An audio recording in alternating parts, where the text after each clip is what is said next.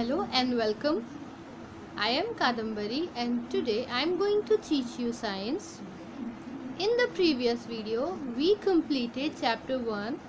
Now today we are going to learn chapter 2.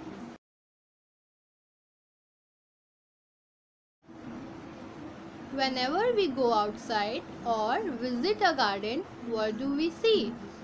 We see many kinds of plants some are big and some are small.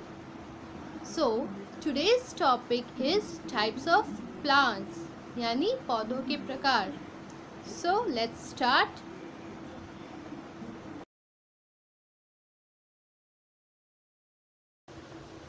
Today we are going to learn about types of plants यानी पौधों के प्रकार Very big and tall plants are called trees बहुत बड़े और लंबे पौधों को पेड़ कहा जाता है।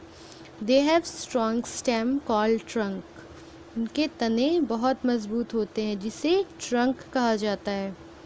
They live for many years वह बहुत साल तक जीवित रहते हैं। Some examples are mango banyan neem etcetera trees की एग्जाम्पल्स हैं मैंगो यानी कि आम का पेड़ बैनियन ट्री यानी बरगद का पेड़। Small and bushy plants are called shrub छोटे और झाड़ीदार पौधों को श्रब यानी कि झाड़ी कहा जाता है। They have thin strong and brown stems they live for a year some examples are cotton rose jasmine etcetera cotton rose plant plants with thin and green stem are called herbs वैसे पौधे जिनके stem, यानी कि जिनका तना पतला होता है और हरा होता है, उन्हें हर्ब्स कहा जाता है।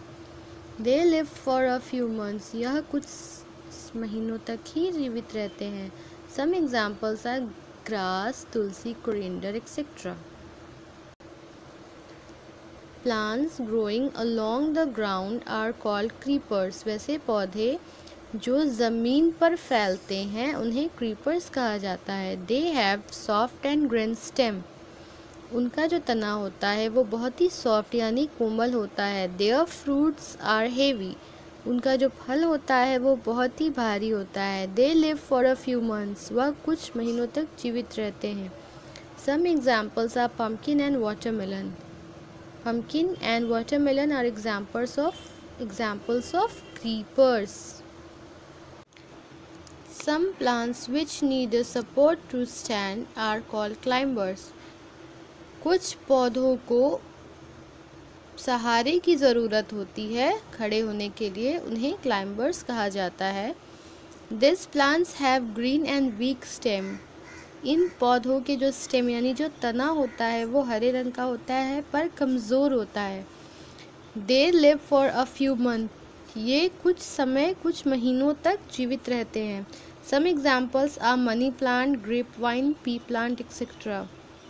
Climbers के कुछ examples है grapevine plant, pea plant and money plant.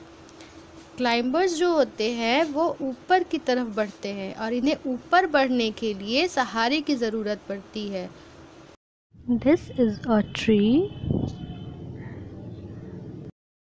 rose plant is an example of shrub Tulsi plant is an example of herbs. Pumpkin plant is an example of creeper. Money plant is an example of climbers. This is your homework. Write it and remember.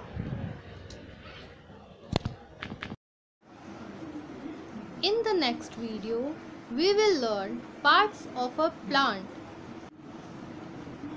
So that's all for today. Don't go outside, stay at home and keep learning. Goodbye.